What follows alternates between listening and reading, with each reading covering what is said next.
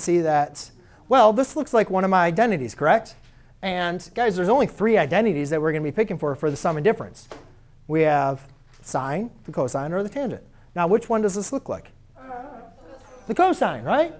So a couple things when we're looking at this, we know that here's my angle u, here's v, here's angle u, here's v.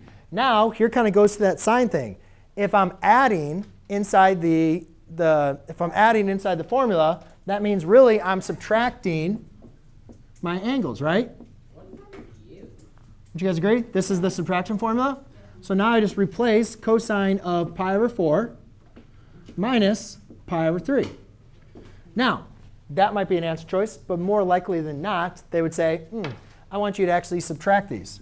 Well, that's OK, because that may, just means we need to get common denominators. 3 over 3, 4 over 4.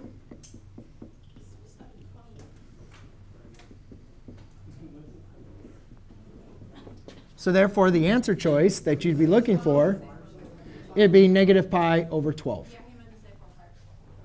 Sorry, 4 pi over 12. Thank you. And that'd be your answer choice, Jack.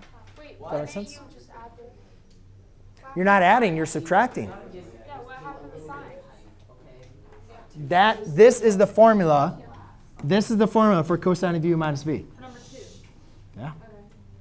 Look at cosine, cosine, sine, sine. That's the cosine form, Oh, okay, okay. right? Okay, yeah. Anybody have any questions? Excuse me,